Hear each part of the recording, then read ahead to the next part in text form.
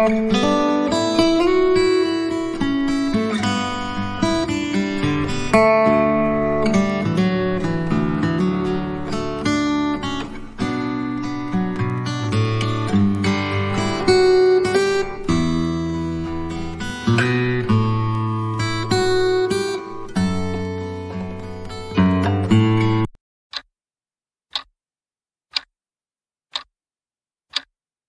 was fun.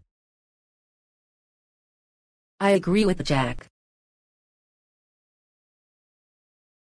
I'm glad you had fun Jack and Ashley.